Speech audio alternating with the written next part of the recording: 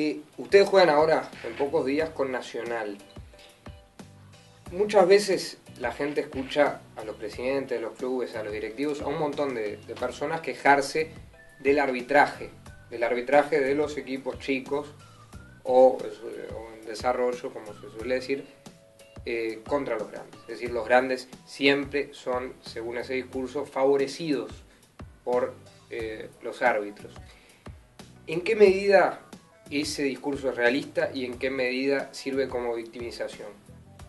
No, primero nosotros este, no, nos consideramos víctimas, es más, nos fortalecen las dificultades, eh, nos hacen cada vez este, ampliar nuestros desafíos y, caminar hacia el horizonte. Sin lugar a duda, este, esos son los motivos muchas veces, eh, los motivadores para poder seguir avanzando y a la velocidad que venimos avanzando.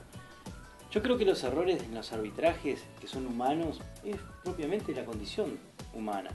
A veces favorecen a uno, a veces favorecen a otro, pero no creo que exista un favoritismo específico este, para uno u otro cuadro. Lo que sí nosotros dignamente, este, por ahora vamos a ir yendo al Estadio Centenario a jugar contra Peñarol y Nacional.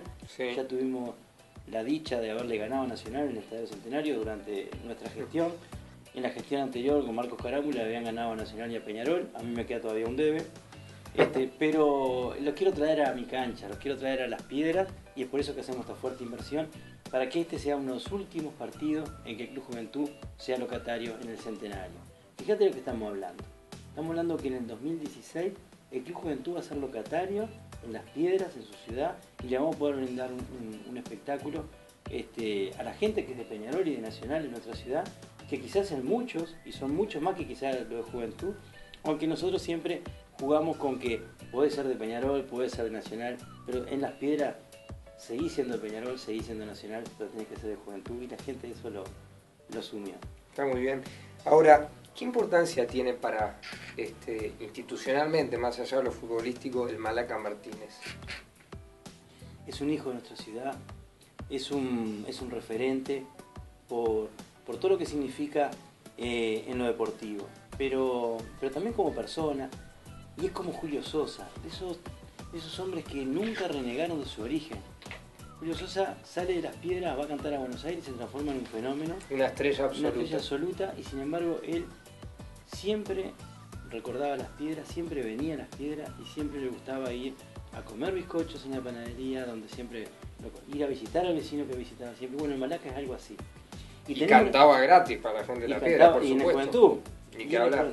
Entonces, eh, lo bueno que tiene eh, el Malaca como el Oveja Reyes, como gente que ha trascendido fronteras y que vuelven a jugar en, el juventud y a vestir los colores de juventud y estar en su ciudad, es un poco aquello como la palabra del hijo pródigo, ¿no? Yo creo que este, hay mucho de simbolismo en eso, donde los niños y los jóvenes que arrancan en el fútbol, que hacen formativas, pueden reflejarse un verdadero ejemplo de trabajo, de compromiso, porque el futbolista es un trabajador con mucho sacrificio, llega a una carrera y hay que pensar que, esas estrellas que, vemos este, eh, muchas veces y admiramos muchas veces han pasado por mil y una, mil sacrificios de la familia y bueno, hacia eso vamos nosotros. Nosotros trabajamos para los Malaca, Martínez, trabajamos para los fenómenos que alguna vez llegan pero también trabajamos para el 99% de esos gurises que no llegan, exigiéndole, por ejemplo, que estudien, con compromisos bien claros de solidaridad,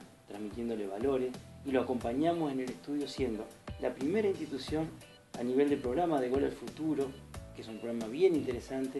El Club Juventud viene a la cabeza de ese programa y es por eso que Gol al Futuro nos da el apoyo económico para hacer la formativa, este, porque eh, tenemos un fuerte compromiso con la educación integral de los jugadores y con un programa que mucho más que enseñarle fútbol, le enseña a ser buenas personas.